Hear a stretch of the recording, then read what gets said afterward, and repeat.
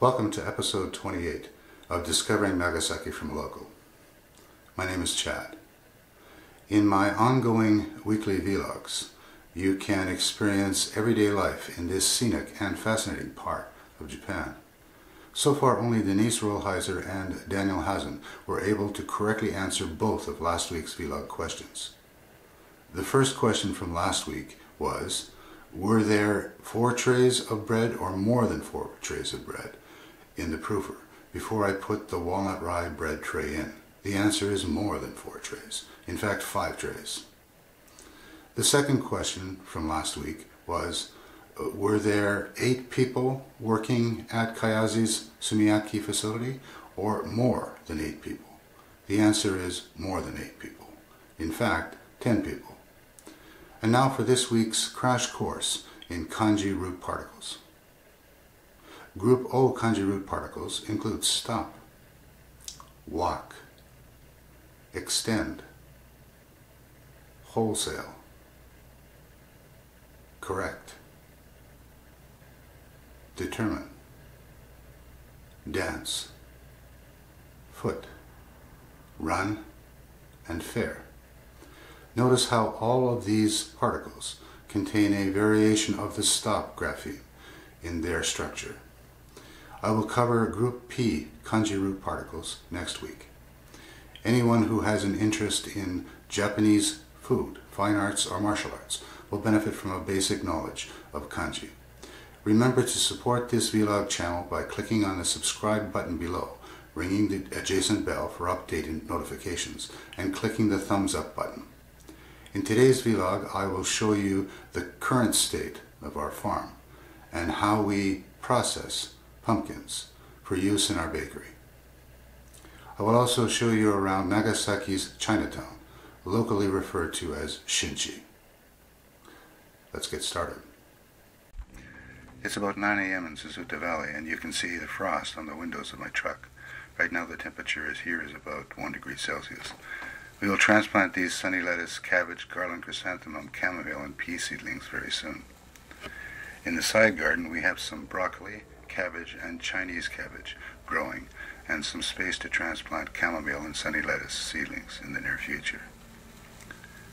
In the back, you can see that the four rows of onions and sky beans I planted last November have survived the recent snowfall. Outside of that, we have arugula, sunny lettuce, chamomile, Korean lettuce, green onions, Swiss chard, beets, and mizuna on the go.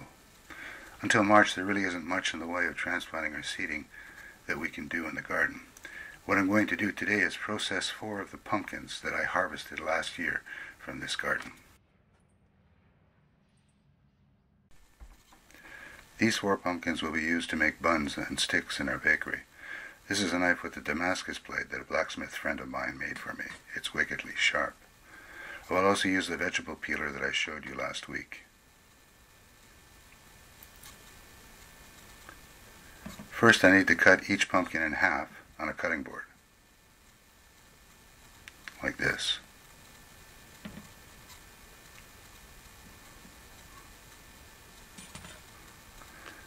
Break it in half and then remove the stem.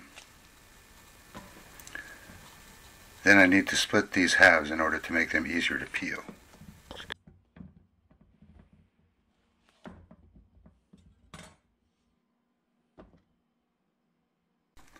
Next I have to remove the seeds and the middle section of the pumpkin using a spoon. I will save all of the seeds for next year's crop. There's no need to buy seeds for that. These will work just fine.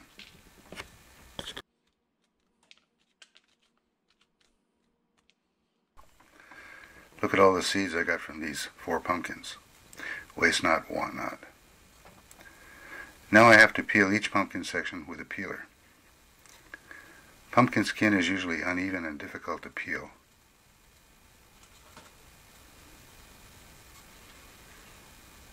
But that's not the case with these pumpkins. They are relatively easy to peel. Although it's fairly easy to handle these quarter sections, they are still quite slippery. I have to avoid peeling my own fingers. If I can't get the skin off with a peeler, I can always use the knife.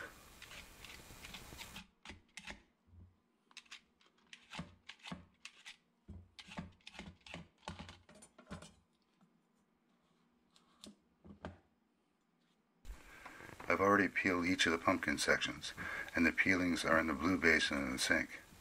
This will go into our compost to fertilize our garden. Next I need to cut the pumpkin up into narrow slices. Boiling will go faster if there's more surface area. Notice the color of my fingers.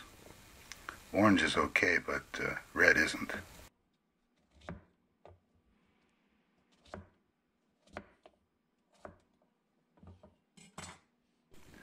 I already put all of the pumpkin slices in this large pot.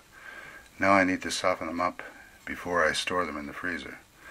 I'll add enough water to submerge the pumpkin slices just like this.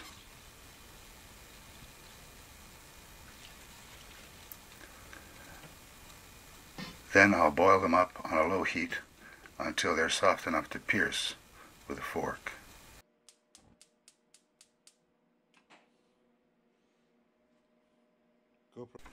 It actually took a, about an hour to boil these pumpkin slices. I let the pot cool down for 30 minutes and now I'll drain off the liquid into a plastic container. This will be used in the broth of our next batch of soup. Now I'll weigh out pumpkin portions for our bread. In this case, 230 grams.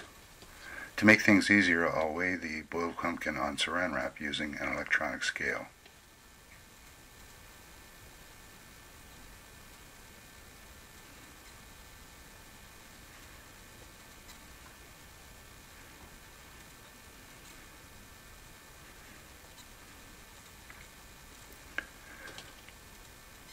Once I have the right amount, I'll fold over the saran wrap like this.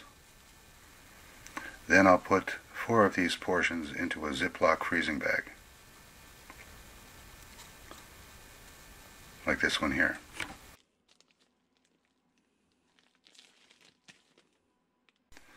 Our recently defrosted freezer is where we store most of the produce from our garden. In addition to the frozen pumpkin, we have frozen carrots, frozen moroheiya or jute powder for bread. To name just a few, we also have frozen sky beans, frozen white togan beside them, frozen peas, frozen okra, and frozen beets in the freezer.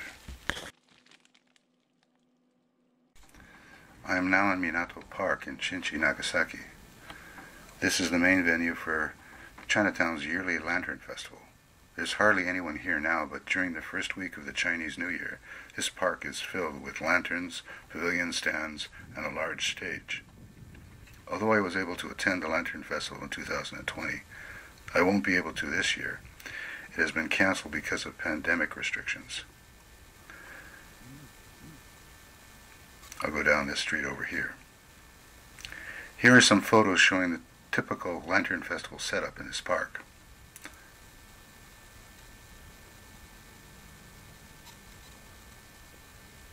And this is a short video showing what this park looked like at night six years ago, at the beginning of the year of the goat.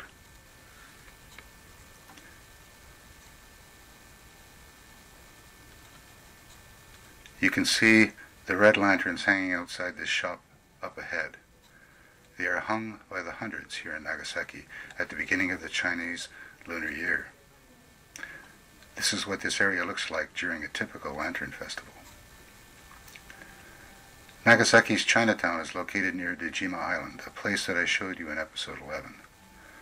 Nagasaki was the only major port open to foreign trade during Japan's era of isolation, and only traders from China and Holland were allowed in the city. Like Dejima Island, for the Dutch, Shinchi Island was initially a reclaimed island where Chinese traders were allowed to conduct business. Unlike the Dutch, who had to reside and work exclusively on Dejima Island, Nagasaki's Chinese traders were initially allowed to move around the city more freely.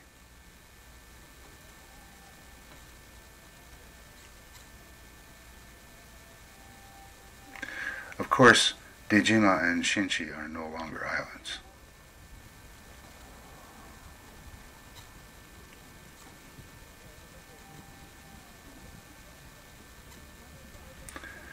This shop up ahead on the left is selling mafaru, a delicious deep-fried Chinese pastry.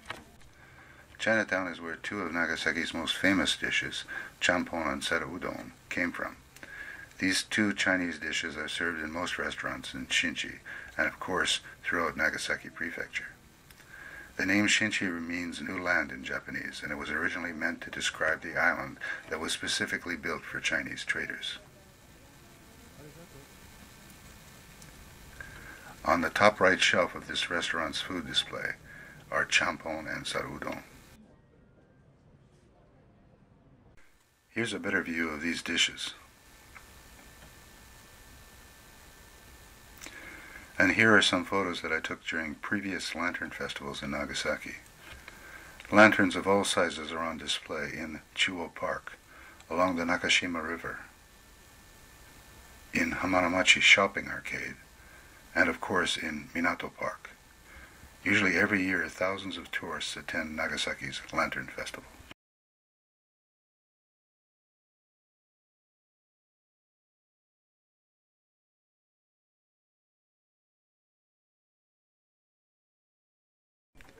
From as far back as 1562, Shinchi was the home of Chinese traders in Nagasaki. In fact, many of these Chinese traders came from Fuzhou, China. As a result, Nagasaki and Fuzhou became sister cities 41 years ago in 1980. Now Shinchi covers many blocks in central Nagasaki. As you can see, it is a bustling shopping mall with many stores and excellent Chinese restaurants, like the ones at the end of this shopping mall. Notice the Christmas decorations in front of this restaurant.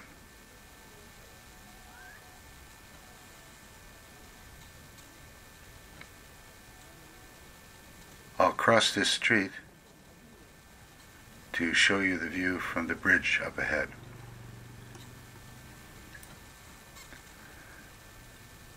This small metal dragon statue is on Shinchi Bridge, which spans a canal next to the Nakashima River, the same river which borders Dejima. On the opposite side of this bridge, in the distance, you can see one of the buildings on Dejima. Shinchi Bridge is right next to the red Genbu Gate, which marks the original location of the entrance to Shinchi Island. And now for this week's challenging questions. First, what year was written on the Ziploc bag of Moroheiya powder in the freezer? Second, if you exclude the baby, how many people were clearly not wearing a mask in my Chinatown video clips? Be the first to correctly answer both of these questions in the comment section below. I will announce the first three people who do so at the beginning of episode 29. You can find a complete list of the contents of my vlog episodes on the Facebook link listed below. Today's B-roll involved farming, so in episode 29, my B-roll will involve cooking. See you next week.